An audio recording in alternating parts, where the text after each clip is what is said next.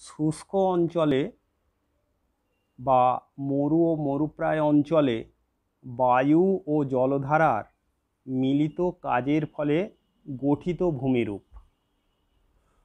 শুষ্ক অঞ্চলে, অর্থাৎ মরু ও মরুপ্রায় অঞ্চলে বায়ু ও জলধারার সম্মিলিত কাজের ফলে যে সকল ভূমিরূপ গঠিত হয় তা হল পেডিমেন্ট, বাজাদা প্লাওয়া ও ওয়াদি।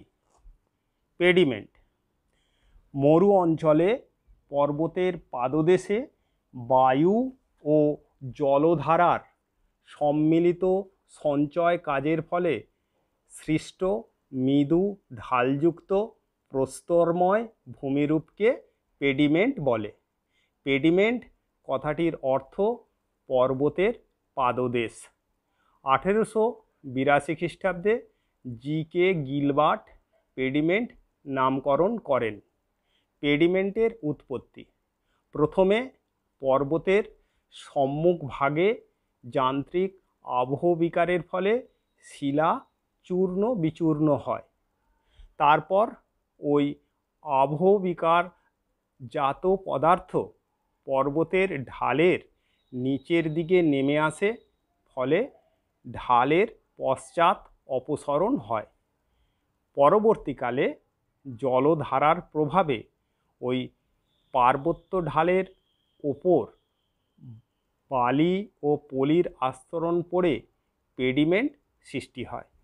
পেডিমেন্টের বৈশিষ্ট্য। পেডিমেন্টের বৈশিষ্ট্য হলো, এক, পেডিমেন্টগুলোর গড় ঢাল থাকে এক থেকে সাত ডিগ্রি। দুই, কঠিন শিলার ওপর পলির হালকা আস্তরণ থাকে। তিন, পর্বতের পাদদেশীয় ঢালের উচ্চ অংশে ও বাজাদার ঊর্ধ্ব সীমানায় পেডিমেন্ট অবস্থান করে। একাধিক পেডিমেন্ট যুক্ত হয়ে পেডিপ্লেন সৃষ্টি করে। উদাহরণ, উত্তর পশ্চিম আফ্রিকার আটলাস পর্বতের পাদদেশে পেডিমেন্ট দেখা যায়। বাজাদা পেডিমেন্টের নিচের অংশে বায়ু ও জলধারার মিলিত সঞ্চয় কাজের ফলে গঠিত স্বল্প ঢালযুক্ত সমভূমিকে বাজাদা বলে। স্পেনীয় শব্দ বাহাদা থেকে বাজাদা শব্দটি এসেছে, যার অর্থ একাধিক পলল শঙ্কু যুক্ত এক সমভূমি বিশেষ। বাজাদার উৎপত্তি। পেডিমেন্টের সামনে মৃদু ঢালে জলধারা, নিচের অংশে সূক্ষ্মদানা ও উপরের অংশে স্থূল দানা সঞ্চয় করে পলল শঙ্কু গড়ে তোলে। পরে একাধিক পলল শঙ্কু যুক্ত হয়ে বাজাদা গঠিত হয়। বাজাদার বৈশিষ্ট্য। বাজাদার বৈশিষ্ট্য হলো, এক, বাজাদার ঢাল অত্যন্ত মৃদু, অর্থাৎ শূন্য দশমিক পাঁচ ডিগ্রি থেকে দু ডিগ্রি মাত্র। দুই, প্লাওয়া ও পেডিমেন্টের মাঝে বাজাদা গড়ে ওঠে। তিন, বাজাদা সূক্ষ্ম পলিবালি দ্বারা গঠিত। উদাহরণ, ভারতের জয়সেলমের বাজাদা সমভূমিরই অংশ। প্লাওয়া প্লাওয়া একটি স্পেনীয় শব্দ, যার অর্থ হল লবণাক্ত হ্রদ। প্লাওয়ার সংজ্ঞা। মরু অঞ্চলে অস্থায়ী লবণাক্ত জলের হ্রদকে প্লাওয়া বলে। প্লাওয়ার উৎপত্তি। মরুভূমি অঞ্চলে পর্বতবেষ্টিত অবনত সমভূমি বা যাকে বোলসন বলে, সেই বোলসন থাকলে পর্বতগুলো থেকে কেন্দ্রমুখী জল নির্গম প্রণালীর মাধ্যমে অবনত অংশে জল সঞ্চিত হয়ে প্লাওয়া হ্রদ সৃষ্টি হয়। প্লাওয়ার বৈশিষ্ট্য। প্লাওয়ার বৈশিষ্ট্য হলো এক, প্লাওয়া মরু ক্ষয়চক্রের নিম্ন ক্ষয়সীমা দুই, প্লাওয়ার আয়তন কয়েক বর্গমিটার থেকে কয়েক বর্গ কিলোমিটার পর্যন্ত হয়। তিন, প্লাওয়ার জল সম্পূর্ণ বাষ্পীভূত হলে হ্রদের তলদেশে যে লবণের স্তর দেখা যায় তাকে স্যালিনাস বলে। চার, আফ্রিকার লবণাক্ত প্লাওয়া হ্রদকে শর্টস বলে।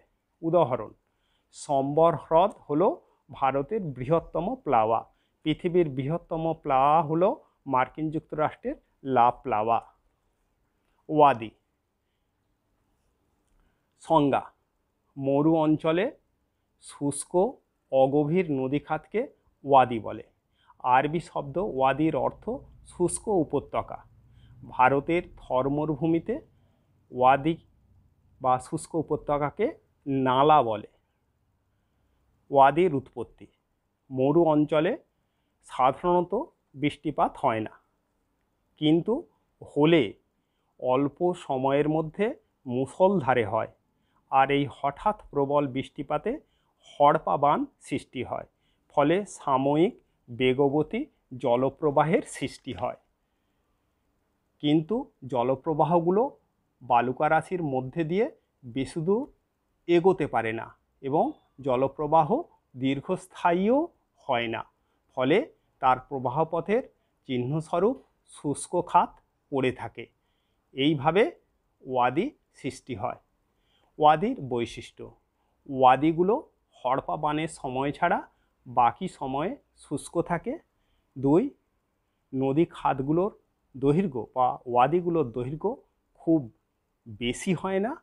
তিন, ওয়াদিগুলো অগভীর হয়।